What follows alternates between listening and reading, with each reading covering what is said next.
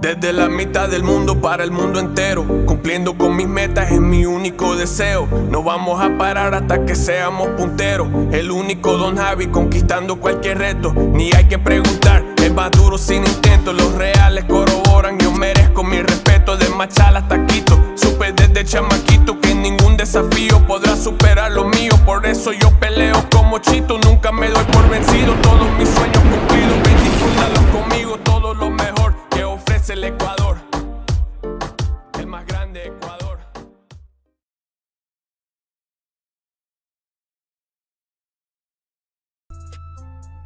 Ciudadanos armados ingresaron la noche de este sábado 20 de mayo del 2023 a un restaurante en Montañita, en la provincia de Santa Elena, y propinaron varios impactos a clientes y trabajadores. Hasta la publicación de este video se reporta alrededor de 6 personas que perdieron la vida y 6 heridos.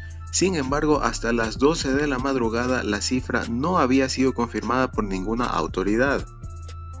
Videos difundidos en medios sociales muestran la crudeza de este nuevo hecho violento. Se puede observar a personas tiradas en el piso, también varias de ellas entre las sillas y las mesas, mientras se observa claramente la desesperación de los testigos por ayudar a los heridos. En otros videos se puede observar a varios ciudadanos cargando a los heridos en busca de auxilio. Los dueños de los locales comerciales aledaños cerraron sus negocios ante el terror que se vivió durante esta noche. Reportes preliminares aseguran que en el lugar había menores de edad cuando comenzó este hecho.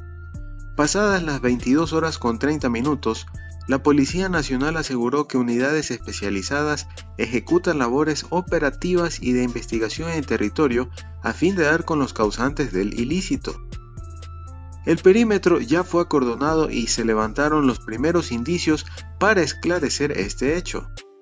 Extraoficialmente se habla que los ciudadanos armados ingresaron al restaurante para perjudicar a un hombre que estaba con guardaespaldas, Producto de ello se produjo un enfrentamiento con varias bajas colaterales.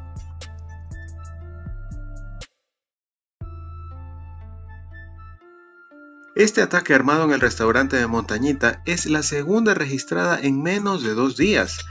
El jueves 20 de mayo del 2023 Manta vivió una mañana de terror cuando personas armadas ingresaron a un velatorio y dispararon a sus asistentes, que por cierto este video ya se encuentra disponible en nuestro canal y te invitamos a verlo. La Fiscalía General del Estado confirmó que este hecho violento dejó a cuatro personas fallecidas y 16 heridas.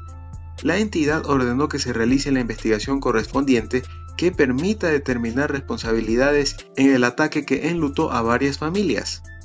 Con los inocentes no, por Dios, escribió el alcalde de Manta Agustín Intriago, al tiempo que pidió la intervención de los ministerios de gobierno y de defensa.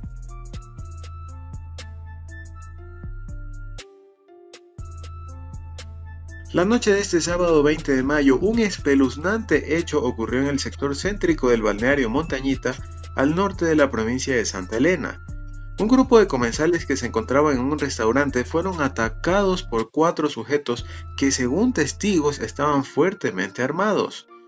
Se escucharon más de 50 disparos.